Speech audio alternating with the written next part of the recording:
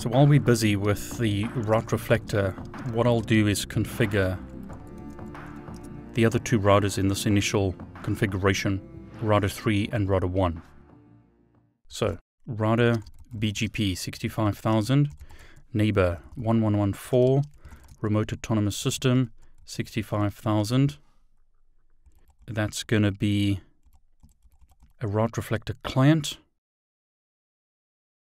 and the update source is going to be loopback 0.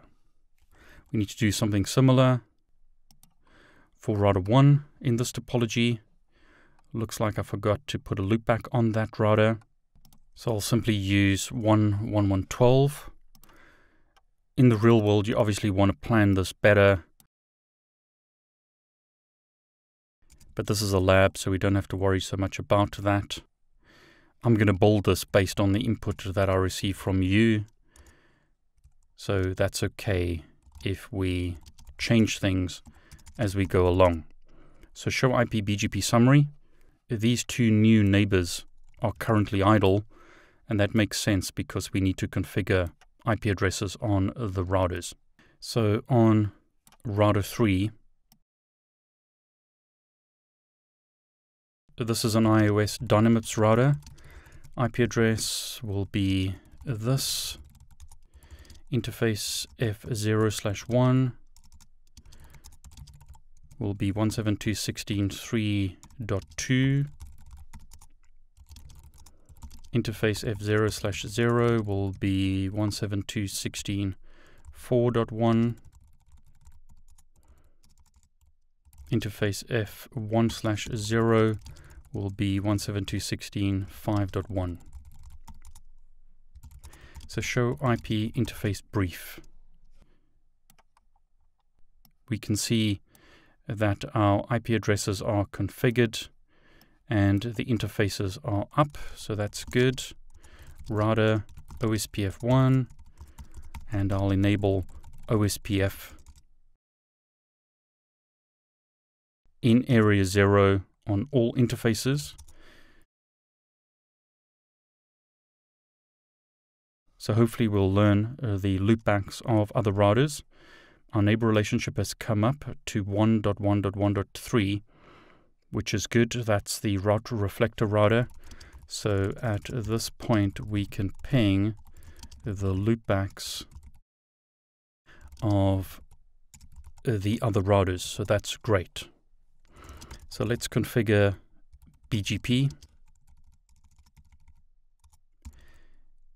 neighbor 1.1.1.3 remote autonomous system 65,000.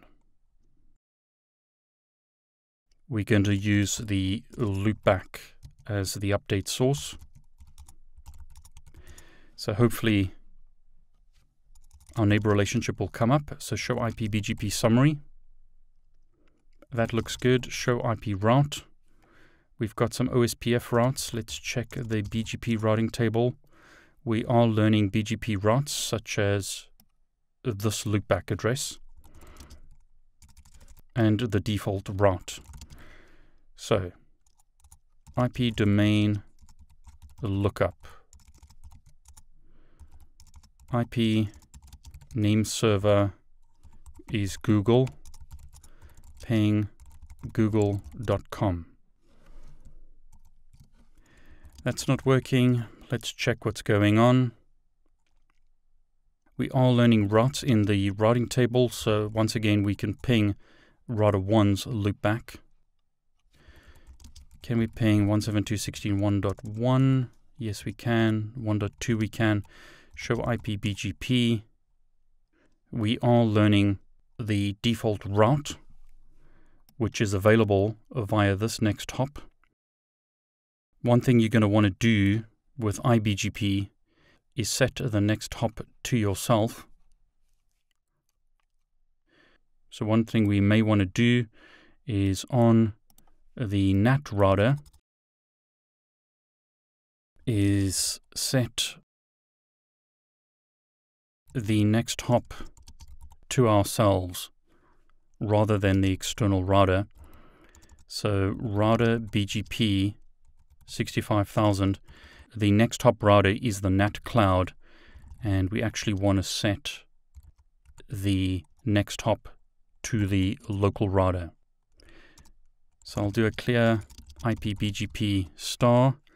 Be careful doing that in the real world. You can cause a lot of problems.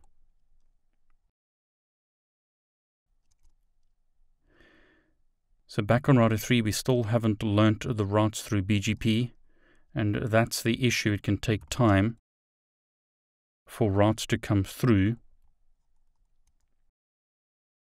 So even in this small network, it's taking time for the routes to be populated. That's looking better on the NAT router. What about on router 3? We're still learning routes. And there you go. Notice the difference now. Default route is via 1.1.1.1. Previously, the default route was via 192.168.122.1, which is the NAT cloud. So can router 3 ping google.com? Yes, it can. Can it ping cisco.com? Yes, it can. So we've successfully configured this router. A last router to configure before we test connectivity from our LAN is router 1.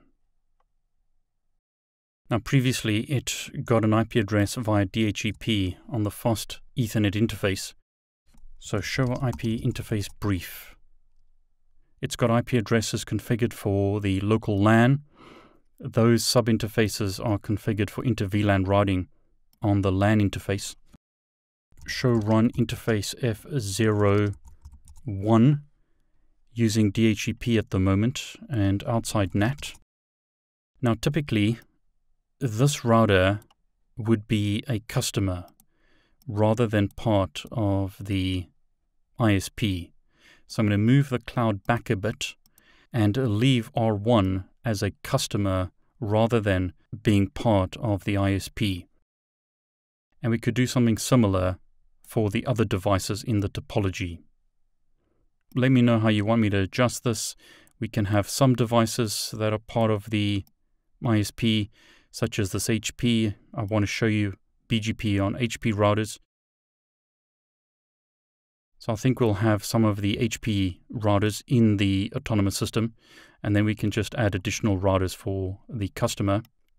So on the customer, we could run DHCP here and perhaps we should do that so that we replicate what's happening in the real world. So this interface will use DHCP, but uh, that means that router 3 needs to allocate an IP address to router 1 through DHCP. So on router 3 acting as our ISP, IP DHCP pool, let's say customer 1, network 172.16.4.0 and the mask will be a slash 24 mask in this example. Default router will be 172.16.4.1. DNS server will be Google. So show IP DHCP binding. No IP addresses are allocated at the moment. Show run interface F0 slash 0. That interface is configured correctly. So 4.1 that looks good. 4.1 is pingable, so that looks good. We've got our DHCP pool configured.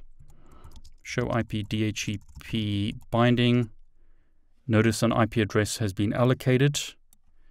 And if we look at router 1, it's been allocated an IP address via DHCP So in other words, router 3 on the left has allocated an IP address to router 1. So show IP route. We've got a default gateway pointing to router 3. Ping google.com. As you can see, that took a while, but it did resolve. Ping cisco.com also works. So router 1 acting as a customer has been allocated an IP address through DHCP from router 3. Router 3 is running BGP. It learnt the default route through BGP from the route reflector and can connect to the internet. Can the customer PCs in the LAN ping the internet?